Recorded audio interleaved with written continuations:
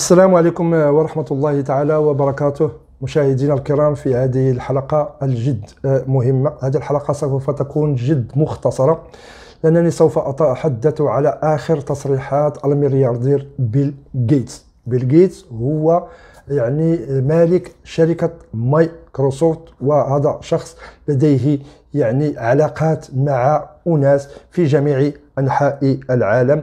هذا الشخص الذي يخرج بعض المرات بتصريحات جد مثيرة سوف نتحدث على آخر تصريحاته. فكما تعلمون العالم وأمريكا على الخصوص تمر تقريبا منذ ثلاث سنوات ب فترة وباء. هذه الفترة التي ربما اقتربت من نهايتها وبدأ التفكير في العودة إلى الحياة آه، آه، آه، الطبيعية لأن هناك العديد من الناس الذين تعبوا وملوا من هذا الأمر أمر يعني الوباء وتأثيرته الاقتصادية والاجتماعية والسياسية على العديد من البلدان وعلى العديد من الأشخاص في جميع أنحاء العالم. هناك العديد من الناس الذين فقدوا بعض أفراد أسرهم نسبة الوفيات وصلت هنا فقط في الولايات المتحدة الأمريكية ل 900 ألف يعني شخص فما بالك على الصعيد آه، العالمي. فكما قلت هناك يعني إحساس بأنه ربما سنة 2022 سوف تكون بداية نهاية يعني وباء كورونا.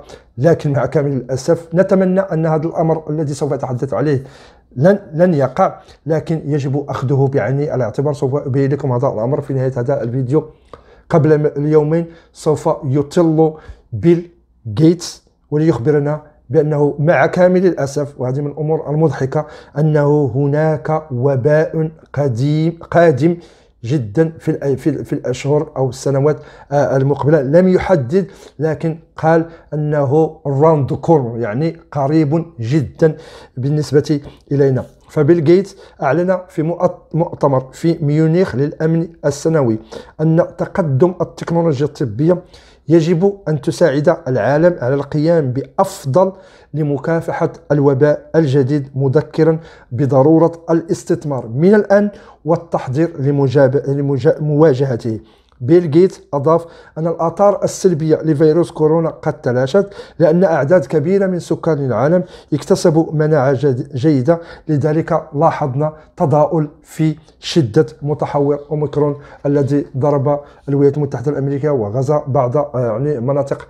العالم في نهاية السنة الماضية وبداية هذه آه، آه، السنة. بمعنى أن بيل جيتس يقول لنا حرفيا أنه يجب علينا أن ننتظر وباء قادما يعني عن قريب pandemic are we going to see another pandemic before we are able to beat this one well we'll have another pandemic uh, it will be a different pathogen next time the, we'll have some rebound this this pathogen we don't have a tool to do eradication we'd like to have a, a new generation of vaccines that would be suitable. I mean, ideally, we'd get rid of families of respiratory viruses, including the flu family and the coronavirus family. And I do think in the next decade we can come up with an eradication vaccine. That's an aspiration, not a, a guarantee. بالطبع هذا الأمر أثار العديد من التساؤلات كيف يعقل لشخص لا علاقة له بالمجال الطبي أو المجال العلمي أن يتحدث في هذا آه، آه، الأمر. فهناك العديد من النشطاء يعني في جميع أنحاء العالم قالوا بأنه لا يجب الاستماع لشخص بعيد عن هذا الأمر.